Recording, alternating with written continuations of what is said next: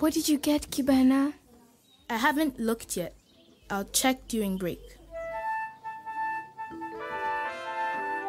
Great, with that done, let's move on to today's topic algebra. Now, does anyone know what algebra is? I told you guys I was going to pick astronaut. You must have picked Kiduchu. There's no way your luck is just that great. I promise I didn't. The universe is just on my side. Well, I got a pediatrician. Then why are you happy about that? I thought you wanted to be a singer. Oh, Koba, don't you know I can sing anywhere? It's just a chance for me to write lullabies, get well soon songs, and happy songs to cheer my patients up. What did you get? I got a financial planner. I'm not sure what that is yet, but I bet you it will involve math. Kibena, you're so quiet over there. What did you get? Um, uh, a farmer. and you thought I was the one with bad luck? Honestly, Kibena, this is what you get for your attitude yesterday. See how optimistic I was and things went my way? Do you want us to help you pick clothes to make dirty for your presentation? Kibena, we were only joking.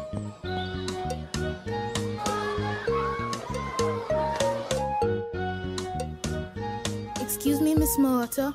May I please come in? Yes, Kibena. Come in. Miss Malota, can I please change my project assignment? Hmm, why do you want to do that? What did you get? A farmer. Okay. What's wrong with that? Well, first of all, I can't dress up nicely as everyone else. I'm going to have to come in dirty clothes with some dirt on my feet. It also doesn't make sense for me to be a farmer if I'm in school. All my friends got careers that require them to go to school. Farmers don't have to use the education we get in school.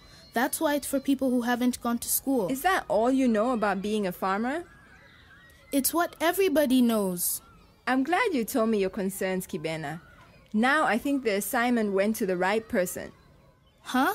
The purpose of the assignment is to dig deeper on these careers, right? Yes. Then you go and do just that.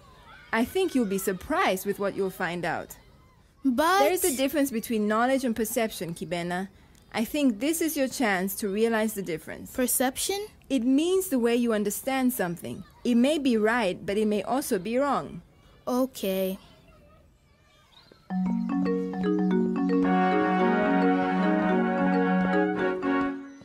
Did you like this video and want to watch more? Yeah! Subscribe to get exclusive access to premium content and more.